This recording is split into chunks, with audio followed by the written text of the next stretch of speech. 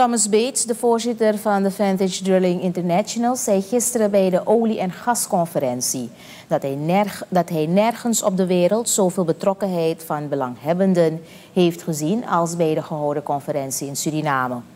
Bates stelt dat er grote economische groei meekomt met olie-exploratie en Suriname miljoenen en zelfs miljarden kan verdienen als er op de juiste manier wordt geïnvesteerd.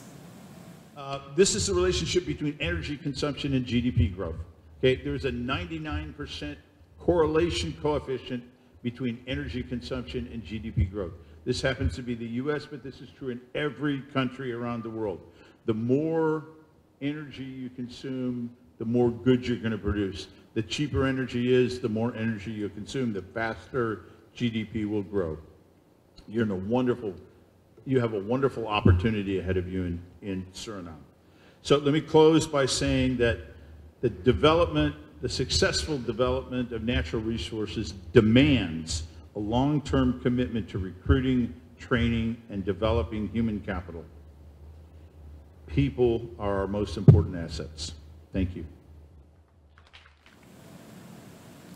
Bates vindt dat het belang van hydro-energie en andere hernieuwbare energievormen niet vergeten moet worden, omdat de wereld steeds meer groene energie gaat gebruiken.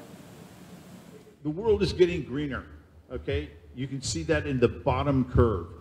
The green energy component of the world is going to double between now and 2050. And that includes nuclear and hydro, okay? It's renewables, nuclear and hydro. But guess what? Hydrocarbons are going to increase by 16% over that same period of time.